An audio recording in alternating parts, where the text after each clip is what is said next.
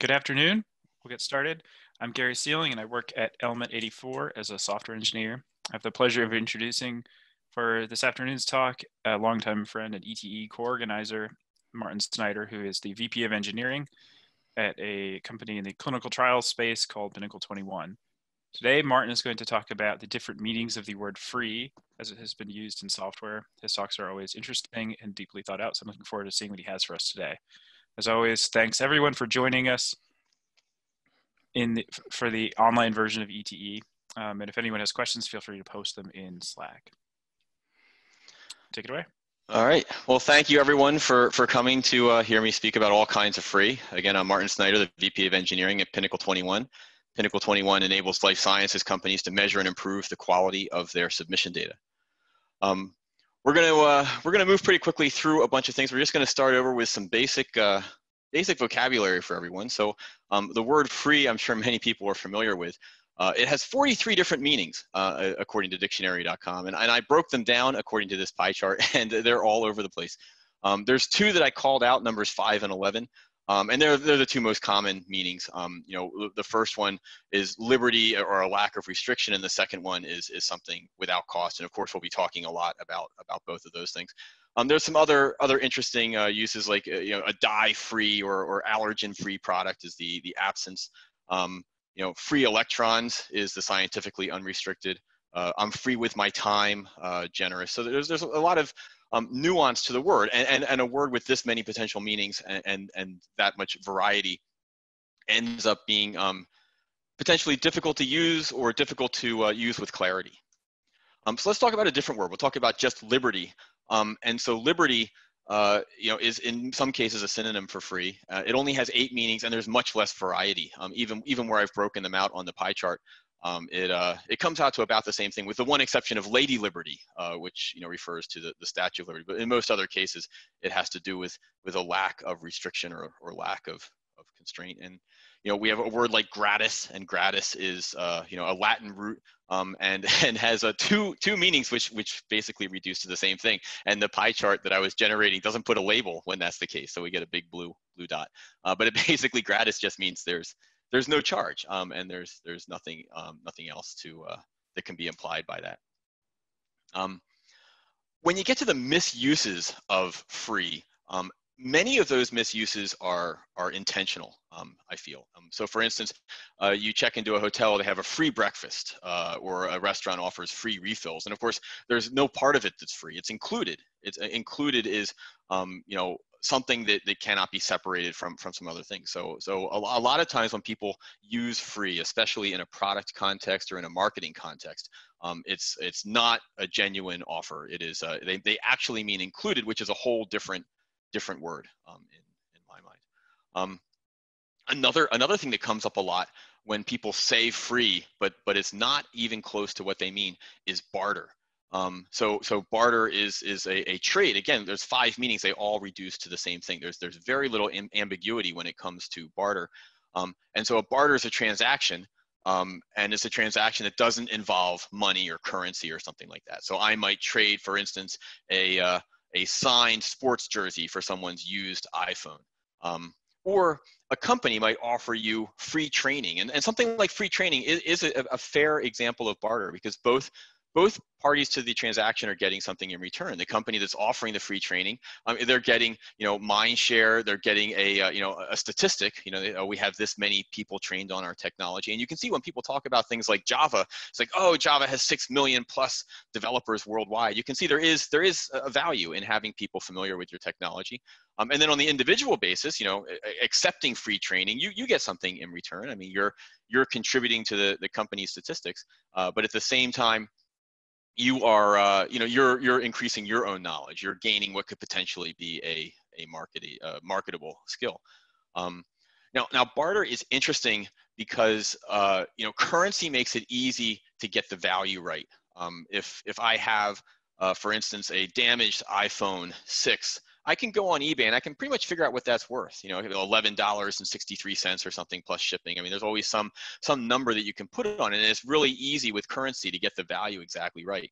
But when I'm trading, you know, one thing for another, it's harder. Like that sports jersey and the used iPhone, those two things may not have the exact same value. And usually in a barter scenario, people just kind of shrug their shoulders and they realize that someone might be a little bit ahead of the other. And you try to get it right as best as you can. Um, but it turns out that you know in the context where you're using a word like free and what you really mean is barter um, the person that's pushing that usually they're the ones coming out ahead so that's just something to uh, pay attention to in general um, in terms of free, one of uh, the next two are my favorites. Um, there, there's a term white elephant, uh, and I think many people are familiar with this, but, but for those that aren't, a white elephant is a gift that you really don't want to receive. Um, and uh, you know, a great example is an actual white elephant. Albino elephants um, are incredibly rare, and going back to like you know 16, 17, 1800s, they were not only rare, they were sacred. Um, and and sacred meant that if you had one, uh, you couldn't just you know put a harness on it and put it to work. Uh, you couldn't treat it poorly. I mean, you you had to care for it to the best of your ability. And so, owning a white elephant was a great um, indicator of wealth.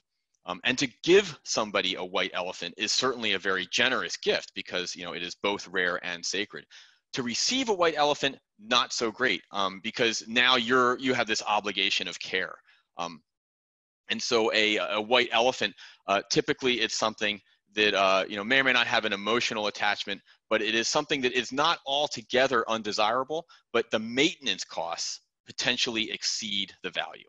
Um, and so so that's something uh, you know that, that, comes up a lot where um, hey i might offer to uh, to give you a free horse and you would be wise to reject that offer because caring for a horse and you know stabling it and feeding it is are, are, are very uh, expensive expensive activities. And then an albatross is is something that, that comes up from time to time uh, in the context of free. An albatross is a burden and, and many times an albatross is an emotional burden, um, more so than a uh, than a, um, a physical um, burden. Uh, and generally, an albatross is something that you would give away for free if you could, but no one's going to take it. And that's because the disposal cost of this undesirable item is greater than its value. Um, and the value maybe is therefore either zero or negative or something like that. But um, you know, if you have like, for instance, a file on your computer that has negative value, you just delete it and you're done. Um, but there's other things that you might have where it's, it's it turns out to be cumbersome to uh, to get rid of them. Um, and this leads us, you know, to, to the punchline slide of the opening, where when people are talking about free, especially online, um, they'll they'll say these things: free is in speech versus free is in beer. And of course, we're going to get to to where that that comes from. Um, and in each one of these cases, there, there's really a better indicator of, of what that is. And so free can be used in, in a wide variety of manners and it's it's oftentimes up to the reader to understand the nuance of what is uh, what is is meant by that. So of course, free as in puppy and free as in mattress are, are my two favorites when you uh, um, when you see that. All of these terms um, have been used, with the exception of refill. Um, all of these terms have been used directly in reference to open source software, one way or another, especially if you get out on social media. So this is uh, um, this is just some examples. Of course, there's many other uses of free, but these are the ones I think that are most useful from a vocabulary perspective. Um, and so let's move right into talking about free and open source software. Um, and of course, a lot of times these two things are conflated and, and they are completely different. And free software uh, directly relates to liberty. And this, this is the description of free software taken from the Free Software Foundation uh, directly. And all of my slides, which I'll share later, um, all the links take you to the source materials for, uh, for, for all these quotes and, uh, and, and, items. Um, this is a problem. I mean, I think this is a mistake because they, they used free in a nuanced way, and you can see you can see just the the mental gyrations they're going through uh, to to explain what they really mean. Um, and I would suggest their energy might have been spent better choosing a better word that doesn't require this level of, of, of explanation to get to what you really want. Um, and, and when you do something like this, when you start to use words in ways um, that have some kind of nuance or some creativity to them, um, there's a lot of things that can happen that are mostly negative. One is it could be misunderstood by people. But the second is it really opens the door to bad faith actors. Um, bad actors can cause you lots of problems, um, but when you do something like this, you make it really easy for people to um, to take advantage of your creativity and good nature and twist the meaning into something that is not what you would have wanted.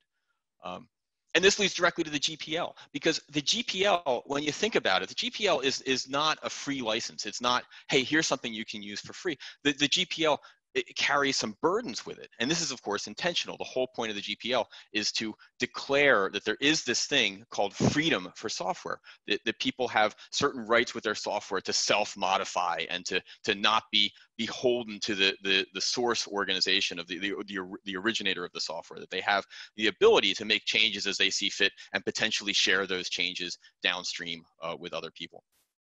And um, it really GPL is a barter arrangement is uh, it, it's saying um, we have all of these GPL software assets, which you can use with, you know, you can basically use without restriction, um, both in composing new solutions and, and for almost any other means. And all you have to do in return to get access to that world is you have to help create more software that has the same properties. You have to add to our pile of software assets to get access to the collection. It's a barter arrangement. Um, and uh, and and this is this is the purpose. So people talk about it as and being infectious and and limiting rights and stuff. And really, it's the GPL is a tool to further a political agenda. Um, and and that was the intention. And if you read about it, you know uh, Stallman's works and, and a, lot of other people when when they wrote about it back, you know, in, in the, the early days in the 70s, um, they were very clear about this. But not a lot of people read those things. Um, and, and, there's like commercial examples where like a, a company, um, has a, a, library called iText. Uh, it's a PDF library. It was a dominant force for, for quite some time. And then they, they kind of clued into this and they said, you know, we're not going to have a really permissive license anymore. We're going to switch to the GPL um, and we're going to have a dual license uh, so that, you know, the, the people that, that have money will give us money and the people that don't have money can still use the software. They just have to also contribute to the GPL pile. Um, and it's exactly what the intention was. And of course, they were immediately undercut by by libraries like PDFBox, which basically, oh, we're just going to you know do exactly what you do, but we're also just going to have a more permissive license, and so that makes it hard to compete. And the intention of the GPL was to create this body that let um, you know basically made it an advantage to be open and free in that manner, um, and and so that the the commercial vendors would have had to pay either more money or invest more time, and this would have put um, you know, the free software movement, which did not have a lot of money, on equal footing with the commercial software movement, which you know, in most cases, does have a lot of money. So um, that's kind of what was going on there, and it, and it's it's set up as barter, but it's not always you know thought of, especially like in in you know in in 2020, it's not always thought of in in the way that it was intended. And I think most people view the GPL today disfavorably. And so this gets to free versus open source. A lot of open source software have very permissive license where, where you don't really have to give anything up. It's not a barter arrangement. It's just um, this is available to you without cost. And there are certain terms and restrictions, like you know, you, we don't have a liability here, or you can't make a patent claim against us and stuff like that. So it's not like you know it's completely public domain and without restriction. Um, but there's also you don't have to give anything in return if you choose not to. If you're going to take uh, know, accept open source software. And of course, we're talking about super permissive licenses like uh, the BSD two and three clause or MIT um, you know, and then you get to things that it starts to get, you know, more and more complicated, like the Mozilla, the Eclipse license, the Apache license, and stuff like that. But they all have this this general property in general is that they are open source licenses and talk about how you can share the source code. And most of them say you can do just about anything you want, including commercialize it and including um, make changes without without sharing those with other people. And there's there's a lot of uh, a lot of things that you can that you can do with that. Things that are much harder to do with the uh, with the GPL license. Um, and when, when you talk about, uh, you know, a, a, lot of this movement, especially as you look at it over, say, the last 30 years, um, you can see a hand at work, right? A, a, lot of the people that push the hardest for open source software are the ones that are consuming it, not the ones that are creating it. Back when the GPL was around and the Free Software Foundation was the, the only show, the, the, the creators of of that movement they were the ones that were calling the shot. And now in many cases it seems like the consumers are calling the shots. And and, and part of that is abusing the word free and conflating that with open source and, and muddying the waters to the point where people aren't even sure what's going on anymore. And you say hey you know the apl is really convenient to use and and we're going to use that. And i'm not saying there's anything wrong with the apl right or any of the other licenses. I'm just trying to draw a really clear um, attention to the differences between them. So in terms of um, using something that is Apache licensed, yeah, it's pretty much free. um, and using something that's GPL licensed is, is more of a barter.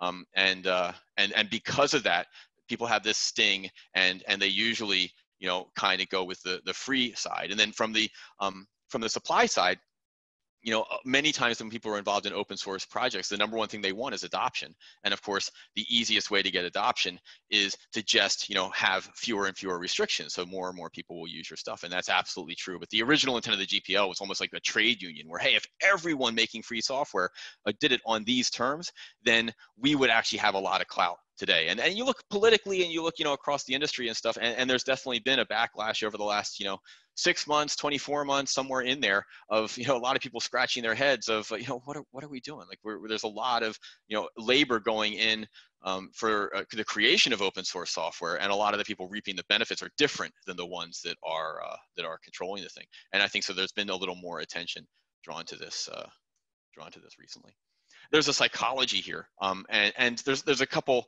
couple elements of it. It's it's it's just important, I think, um, especially when you're dealing with any of these scenarios. It's important to understand what is going on in your mind and in the minds of others and stuff, just so people can make more informed decisions. Um, so this is a great quote. I've I've uh, used it for years. I loved it. Um, there's there's a big history behind it, so this is a good link to click if you're uh, if you're curious. Um, if you are not paying for it, you're not the customer. You're the product being sold. Um, and it's absolutely true, and it applies so much to free um, apps on your phone and free services online. Um, we're going to talk a second about uh, uh, email. Um, of course, it's not free. Uh, it's, uh, it's, it's a form of barter. Um, and and when once you say that, once you realize it's a form of barter, then you can more clearly discuss what you're giving away and what you're getting in return. Um, there's a lot of other examples of, of this. If you're not paying for it, you're not the customer, you're the product being sold. And the best one is, gender-specific cover charges in bars, which is now illegal um, in, in most states in the United States, but not, not all of them. And so you get a thing like, you know, ladies uh, enter free and, and men pay a $10 cover charge. And, and like that's, it, it really puts a, a, a, a pretty fine point on who's paying for what, um, which is, uh, I think, in that case, distasteful, but not necessarily more distasteful than most of the other examples uh, that we can uh, we can come up with. Loss aversion is an important psychological concept here. Um, so uh, if we imagine two scenarios where, let's just say, um, I owe you money um, and it's fifty dollars, and we're going to have a coin toss, and if you win the coin toss, I'll give you a hundred and if I win the coin toss, I'll give you zero. So it's a fair game. Um, the odds are two to one. The payoff is two to one. Uh, the you know there's the, uh, most people can understand this, and generally speaking, um, a certain number of people would accept that bet. They'd accept the double or nothing on money they were owed. And now we change the situation, and um, you owe me fifty dollars. And now I offer the coin toss of, hey, how about this? How about we flip a coin? And if I win, you give me a hundred and if if you win you get zero. And of course mathematically these two situations are exactly the same. But if you do an extensive study what you'll learn is that most people when they stand to gain when it's money they're owed um, and so it's like it's not coming out of their pocket they're more likely to accept the coin toss than if if they're the payer. If they have the $50 in their hand and the coin toss is to, to lose an additional $50 out of their wallet um, they're less likely to do that. And it's a noticeable it's a noticeable effect. And so people have a notion in their heads of you know a gain versus a loss for any any circumstance and that actually changes their judgment so the same normally like from a logical perspective the same judgment would apply to these two circumstances um, but here the, the subtlety of gain versus loss is enough to override judgment for, for certain people. Um, and there's other there's other ways to study that. It's, a, it's an interesting experiment, but I think it's it's generally an agreed upon effect. Um, and this brings us to paid versus free email. So of course, um, you know, when you use a free email service, we've discussed this, it's a barter situation. You're getting a variety of, of good stuff, um, you know, in, in return. You're getting, uh, you know, fast search and access and potentially unlimited storage. There's all these great benefits that you get. And you're giving something up. And of course, you're giving up your, your access to personal data. You're giving up like lots of, of, of uh, privacy type things. Um, you were you're turning yourself into some sort of ad-based revenue stream in, in ways that are hard to see. Um, and I talked before about how in a barter situation, it's really hard to um, get the, the, the, value exactly right. But I, I think it's, it's pretty easy to see that you're giving up more than you're getting in return in terms of monetary value. Because if that wasn't the case, every single company wouldn't be doing it. Um, and it, it, doesn't matter whether it's 10 cents a person or $100 a person um, you're giving away more more than you're you're getting back. And so we can see what it costs to provide similar services. So Fastmail and Proton Mail are the two um, most popular personal email services. Like all three of these have corporate services that are priced priced differently. But I'm just thinking of a personal account, you know, one user, no collaboration suite or anything like that. Um, and Fastmail generally, um, I think, has one of the most favorable uh, kind of user experience uh, functional feature sets. Proton Mail generally is viewed as the most secure solution. Um, you know, so but they're priced similarly, and and and they both have you know a lot to offer people. And many people stick with Gmail, and they say um, hey, you know, it's fine. I'm in Gmail. There's a cost of switching. I don't want to endure that. And 50 bucks a year, I'd rather not pay 50 bucks a year or something like that. If we switch it though, we can take a look at loss aversion. If I was paying $50 a year for Fastmail and there was no free offering, and this is just what everyone did, everyone paid $50 a year for, for email, and it's just like it was in the late 90s. Um, and a marketer came along and said, hey, I got a great idea. I'm going to give you $50 for unlimited access to all the data you have in your email system forever, right? I'm just going to mine the the shit out of it. And and we're gonna we're gonna go to town on everything that you've ever communicated with anyone. You would no way no way would i do that for i mean what if they said a hundred dollars? What about four hundred dollars? Like once you start turning it around like that people suddenly have a much higher value on on on some of these things. And and i think it really does crystallize you know a lot of these issues for uh for people. Um that of what they're giving away by using some of these free services and just by you know it's, the, the, the nature of barter makes it very easy to to hide a lot of this from people um, and and I think that there is something there that's worth worth looking for. Now, should you pay fifty dollars a year for another email service? I don't know. And, and part of why I don't know is that different people are going to value this stuff differently. Um, you know, and and and which email provider you use, they they access your data in different ways. Um, and so you might be giving more away to one free provider than another. And it's really hard to, uh, to, to firmly establish all of that. Um, but I think when you look at the, um, at, at the, the move from free to paid versus the move from paid to free, you can really see that, that something in your brain feels wrong. Something in your brain realizes that these two things are not evenly, they're not like measured by a, number of $50. There's something more going on there that's, that's worth, uh, that's worth thinking about. And of course, the word free is almost designed for abuse, and it is frequently abused. And I think it's worth talking about a few of those circumstances. Some of them are entertaining, uh, some of the less entertaining. I think a lot of it depends on which which side of it you're on. And so, um, you know, anytime you use an electronic banking service and you try to connect it to uh, an existing account of yours, you go through this ACH handshake process. And this has been, I, I can't remember, 1996, 97, uh, PayPal, X.com. There was a few companies that did this first, and now almost everyone uh, does it. And it's an automated system where you link the two accounts and they make these two micro payments and then you put you stitch the two together and you get a four digit code and you can enter that code into the website and that kind of shows that you own this second account that you're trying to link to the uh, the first account uh, first account. I think probably everyone in the audience has uh, has done this at least once. Um, and and a lot of times now they'll claw the money back and you might be like well why would they bother? And of course this is this is why they bother is that there was a guy, and it wasn't just one guy. This, this is just the one, the one, the, the version of the story that I found first when I was googling. Um, and so what he did was he made an automated script that would just create as many accounts as he could. And in this case, it was uh, it was a many, hundreds and hundreds of thousands of accounts. Um, and and he made the fake names and fake social security numbers to try to make you know make it look like they weren't all the same person. He shifted IP addresses, and his whole purpose was to just capture as many of those micropayments as he could. And he captured, um, you know, fifty thousand dollars worth from two two vendors before uh, before he got caught. Um, now he went to jail, and I believe he had to give at least some of the money back.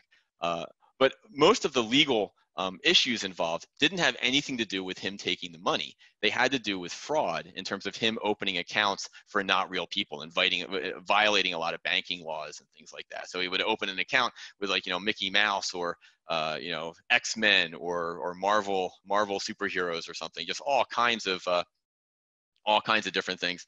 Um, you know, and made up social security numbers, and so that was what his crime ended up being more so than um, than collecting the money. And you look at it from the uh, from the bank's account and and you know they have customer acquisition costs as it is and, and they far exceed these two ach payments. And so the banks originally were like well hey just let this go. If, if we end up you know losing an average of 73 cents for every time we link an account it's actually cheaper than some of the other things that we might uh, that we might deal with. Um, and and uh, you know and so so a lot of people were thinking about different elements here as not having costs when they did have costs and they were doing things um, you know in some sort of good nature and then they were were being abused. And so there, there's there's plenty of examples like this but i think it's an interesting one that doesn't really have a ton to do with with software in particular. Um, and then we get some that do have to do with software in particular. So this is just one example of uh, uh an open source developer who um, you know, is basically talking about the maintenance obligations of a long running open source project, uh, which is, uh, you know, is is tough. Uh, it's a tough situation to be in, and this this really shows the difference between like a white elephant and an albatross. This is an albatross. This is there's an emotional attachment here to this project, um, but the whatever value the project has as a maintainer is likely offset by the costs associated with this maintenance. And if you were to stop doing the maintenance, there's an emotional cost in, in kind of, you know, tearing down something that you've worked very hard to build. Um, and then there's also, if, if there was value in the, the software asset, the open source project, if there's, there's value in there, um, you're gonna, you're gonna hurt that value in, in doing this. And so um, a lot of the value in these cases, a lot of the value has already been given away for free, the access to the software, the years of development, the, the testing and maintenance and stuff like that. And then you're left with these things which are mostly, uh, mostly costs. Um, so this is this is less of an abuse and just more of a controversy. I think you, you, we, uh, we've all seen it happen to people close to us, or we've seen it happen to projects which we value, where eventually someone either throws in the towel or they have to go on some extended hiatus, and it's just their, you know, they they they did everything with with good intentions, and they just kind of had the life sucked out of them by the consumer side of the open source world um, which can be a, a greedy and unforgiving uh, and, and, and unthankful uh, audience. So, um, you know, that's definitely a, uh, a, a, an issue in, in this area of free, especially as it relates to, uh, to free software. Um, here's another example, and, and this this is a this is a really fun one to read about. I think many people probably heard at least the headlines, uh, but basically, Chef employed someone. Um, they package some of their work as a uh, open source project. Um, and Chef used that open source project, and so there's a um, you know there's a, a, a, repository, and then there's a deployment to a um, to like a, a, a, central there's a code repository, and then there's a deployment repository, and both of these things are owned by the open source project. And then there was a dispute. Um, there was a dispute, and a parting of ways. And one of the reactions of the developer was to simply um, just remove the code repository and to retract the uh, deployed artifacts from the, the binary repository. Uh, and this is interesting. And, and, there's a lot of like different wrinkles to it. And, you know, I'm not trying to take, you know, sides here in this particular, uh, particular conflict, but one of the claims of um, the company was that this work should not have been packaged this way. It should not have been packaged as a separate open source project. It was it was work for hire. It should have been in the the corporate you know repository in the first place. Um, and I think that that complicated the situation. Um, and and certainly if you you uh, deliver some open source software, people are entitled to fork it, um, and they're entitled to do almost anything with the source code depending on the terms of the license. But you don't have a long-term obligation to maintain that or provide it. If someone says, "Hey, I want this old version of the software," you say, "Go find it." You don't have to do that work for them. You don't have an obligation to. Uh, um, to do a lot of this. So if somebody wants to to tear this thing down and it happens that no one has forked it ever, well, that might be the end of it. And it turned out in this case, that, of course, it had been forked. Um, the thing with retracting binary artifacts, that's that's obviously trickier because uh, you know it, it's not the, the publishing of the binary artifacts isn't really part of open source license in the first place. It's, it's something else. And um, you know what your rights and obligations there are to your audience from a moral perspective are very different than what your rights and obligations may be from a legal perspective. But most people aren't thinking about this. They aren't thinking about uh, the, um, the, the the combination of things that goes into an open source project. And so like those those keys to the kingdom, owning the the programmatic ID of the, whatever the registry token is for the, the central repository, that ends up being a big part of the open source project.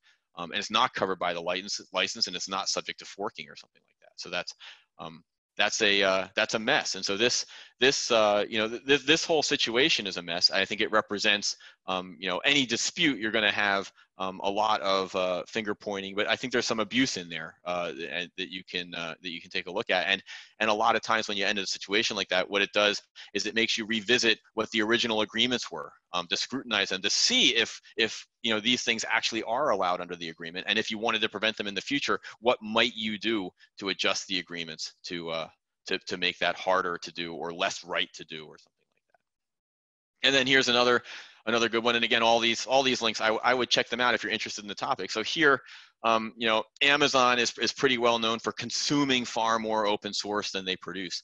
Um, and in this case, the uh, you know the open source project had a commercial offering, a software as a service version of their open source project, and um, Amazon directly competed with them. and uh, that's kind of a bummer.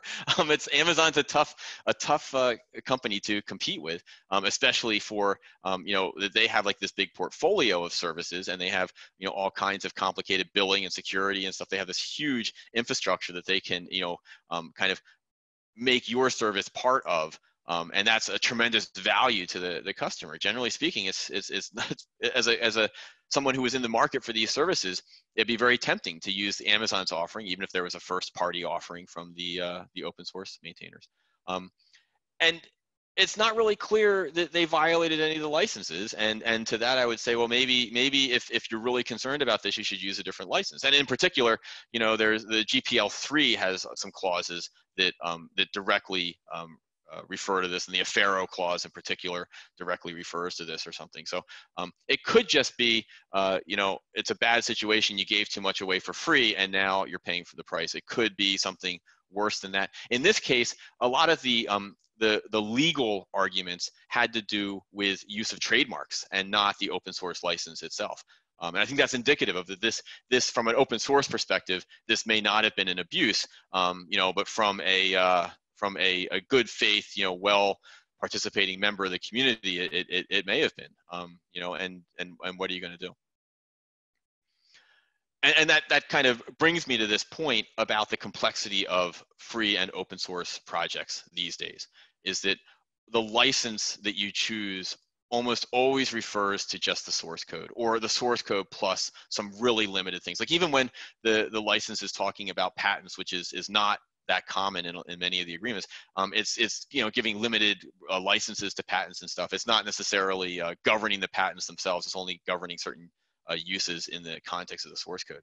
Um, but the trademark is is valuable, and you own that trademark. And that's not a trademark's not something that you can share or fork. If you don't enforce your trademark rights, you lose them. At least in the United States. Um, and so that's not really subject to any of this license. And of course, if you have like a Twitter account with a bunch of followers or whatever, or Instagram or um, you know whatever whatever the the the the, the hub of your community is um, that's something that you own that you know you have that that login access and and whatever those followers are and everything that's something that you as the project maintainer or maintainers um, that you you own and have, and that can't be separated from some of the other things. In the same way with mailing lists, um, domain registrations, like none of these things are really covered by open source projects. And you can see, like for instance, when uh, so Sun bought Star Office and they rebranded it as Open Office and they released it under the GPL, and you know, and a lot of people used that for some time. And then Oracle bought Sun and the people that were the maintainers they basically took all their work and they forked it to a new project and they then and that's what libreoffice is. It's basically the exact same software with the exact same people but they had to leave behind all the stuff that's on this list.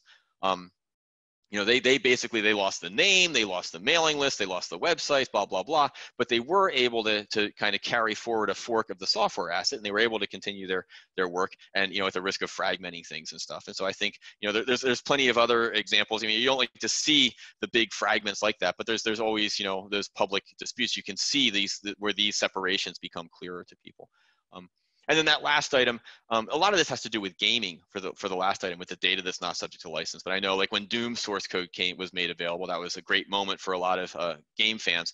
Um, and and you could you could you could get the source, you could compile it, you could download it, but it wouldn't help you play Doom. You actually had to own Doom and copy the WAD files in and do some do some stuff with, with with with that to kind of stitch it together to make it work. So even in the case where like a game is released open source, um, you know, a lot of times it applies only to the the software asset. So we spend all this time talking about licensing and free software versus open source software and all these different license levels and stuff.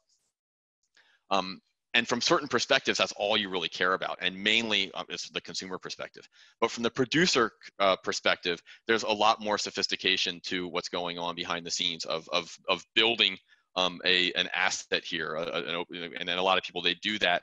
Um, they're they're involved in open source at least for part for for some sort of adoption and for some sort of of celebration of of the accomplishments and the and the service and value that they they provide to people.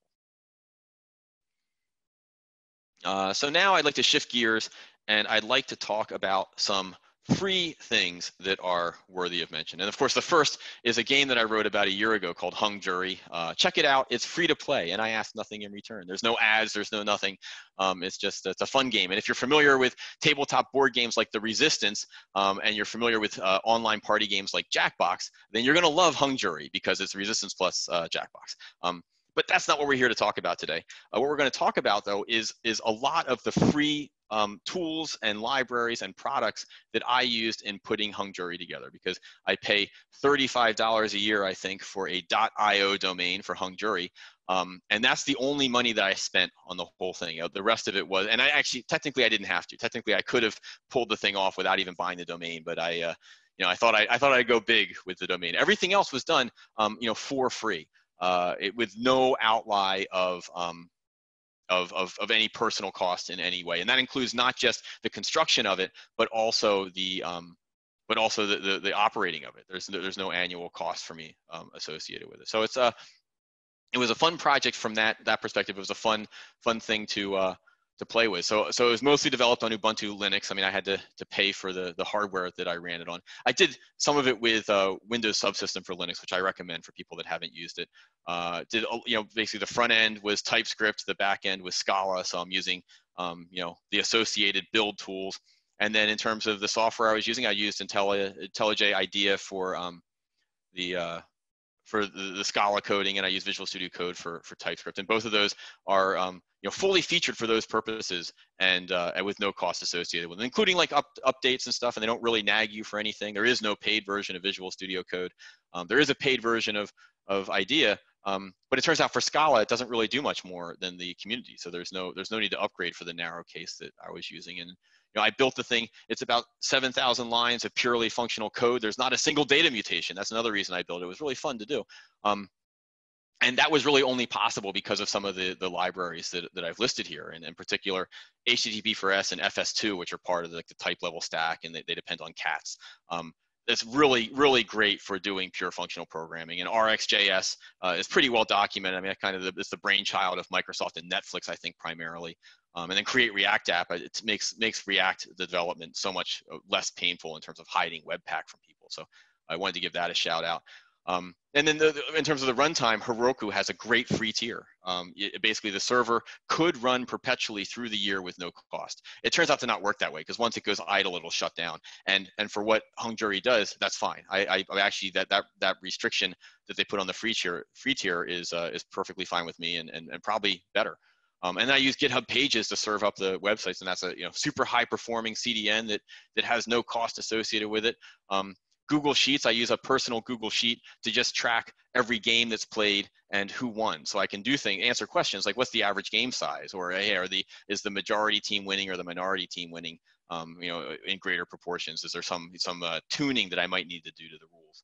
And then Google also provides this Google Apps script where you can write a script and bind it to a web service, and it can interact with your Google Sheet. And so that's that's basically um, how when it, when a game is finally over, the server just puts a payload together and bounces it off that uh, that service, and uh, and all the right things happen.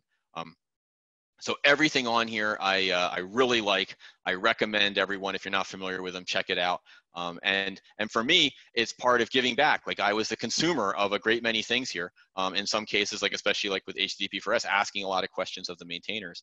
Um, and and giving back advocacy is one way that you can repay some people's uh, generosity. So uh, there's other things that are worthy of mention, I think, and in particular, the ones that I've listed, these are all um, you know paid premium services. Uh, they're they're used in a lot of um, you know big big time um, you know commercial development projects. If you're developing a free or open source project, they all will grant you access to paid tiers at no cost. Um, and so that's their way of giving back to some of the uh, the generosity of some of the open source community. So if you, if you have an open source project and you use some of these things, or you'd like to even just experiment with them, um, you can uh, you can definitely uh, you can follow these links. Uh, you can um, you can Google for it, and you'll find your way. Um, a lot of them require you have to like sign up and, and get approved for uh, for their use in something. And it's more than just the five I've listed. Um, but for people that aren't familiar, you know, Travis is a great uh, continuous integration tool.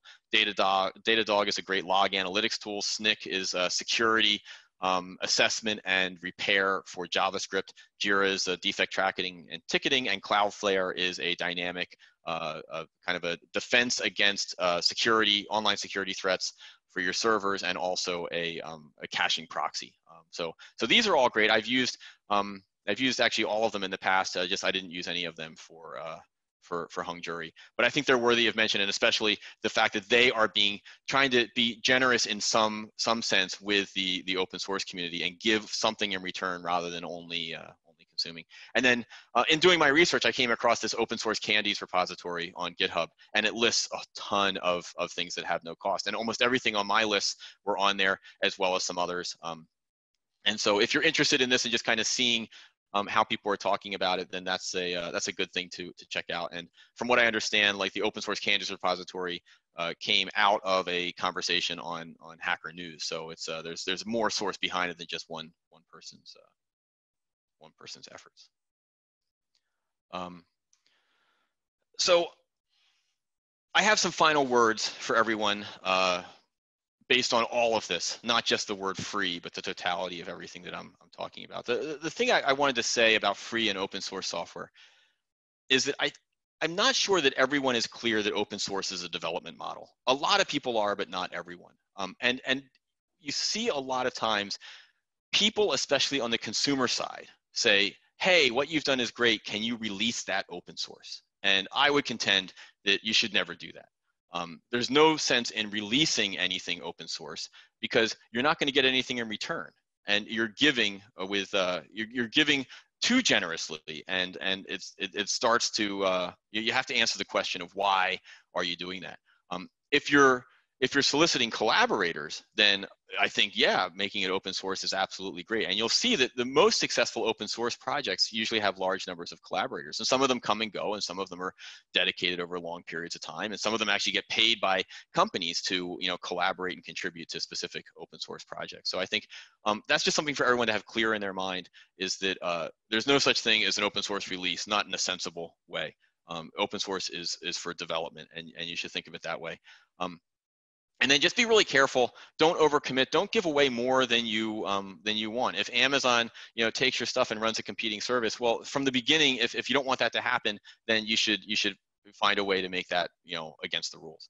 Um, you, you, don't have to give everything away. You can give away only the parts that you that you would choose to. Um, that's that's within everyone's everyone's rights as a creator. So don't get bullied into um, giving away more than you want. But of course the flip side is if you want greater adoption yeah yeah, give it away, give it away. Um, you know, and, and and start hyping it and advocate for it and everything. Um, that's okay too. Like I'm not trying to tell anyone what to do. I'm just trying to bring clarity to some of these decisions um, to to help people out with with that. Um, and then my final thoughts here, just in general, is if you ever get the choice between clarity and cleverness, choose clarity every time. I think the Free Software Foundation was hurt by their gameplay on the, the word free. I think that that ultimately um, made their movement less successful than it would have otherwise been. And I think in particular, uh, you know, people acting in bad faith will absolutely abuse your cleverness, and you will lose control of your message, and, and you should you should avoid that. Um, so this is not about the word free anymore. This is just in life and living in today's world. So clarity over cleverness. Um, if people are generous with you, you should always repay generosity with generosity, one way or another. Find a way to contribute something back to the things that you value. Because if you don't support the things that you value, eventually there's a good chance that you'll lose them. Even if you do support them, there's a chance you'll lose them because some of these things that are based on generosity are potentially hard to sustain um, uh, long term. And so I think that you know adoption and advocacy are two big ways that you can you know repay the open source movement. Um, you know, it, certain licenses don't require disclosure. That doesn't mean you can't disclose. You should always disclose your usage of, of open source libraries. And, and that's part of how you can support the efforts of, of those developers. And if you get the chance to say good things about an open source project that you value, um, you should do so. You should make that slide and you should include it, even if it's not related to your talk um, just to say, hey, uh, you know, my work, my research is, is possible because of the generosity of some of these people. I wouldn't be here without them. Um, you know, I, I think if you're going to use the word free, don't let other people change its meaning for you. Free generally only means one thing at a time. Out of those 43 definitions, you're picking one. Um, and you, you don't let other people pick a different one and, and then bully you about that. And then finally, if you see people using bad faith uh, uh, uses of, of free, I think you should uh, you should call them out. Um, you know, if someone you know offers me, uh, you know, they say, oh, free HBO or something, I, no, it's included. It's not free. Um, you know, and it's uh, I, I, I guess you know, eventually it's a little pedantic and, and and you might be a jerk sometimes, but you can sniff out when um, you know when people are, I think. Uh, acting in a way that is is not not becoming of a, uh, a well-behaved culture so that is everything that uh, I prepared, I believe. Uh, the slides are available right now. If you go to my website, uh, the link is in the bottom left, martinsnyder.net. The presentation link uh, right here will take you to my list of presentations and all kinds of free. These slides are already posted. So uh, if you'd like to uh, grab those slides, um, feel free. And thank you everyone for your time and attention. And I have time for questions now. All right, thanks, Martin. I'm asked if they could have your laptop. Yeah, well, so originally what the plan was, if, if we weren't online for this year's Philly ETE, was I was actually, um, I had some some final examples of the word free, and, and I was going to fold the laptop up and hand it to someone in the audience um, and give them a free laptop. Uh, and I've given some consideration to um, calling them up on stage, or for instance, tweeting a picture of me handing them the laptop and, you know, and, and doing that. And the question is, if I were to do those things, would it still be free?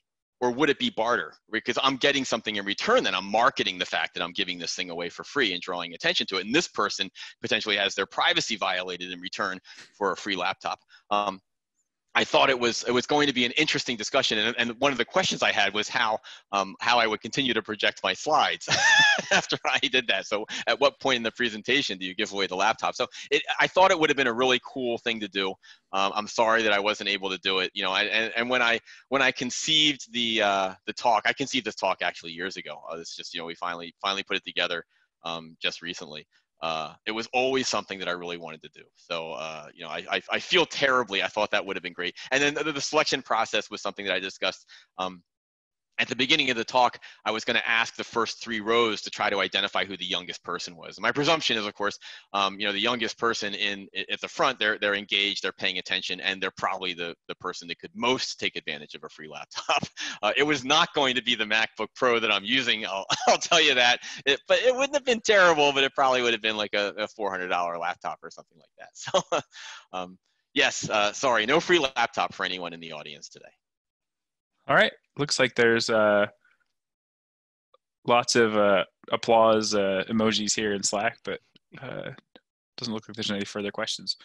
Uh, if All anyone right. is interested, uh, I'm sure Martin will be around. You can interact with him. Definitely. Questions later. So thanks for that. Thank you, everyone.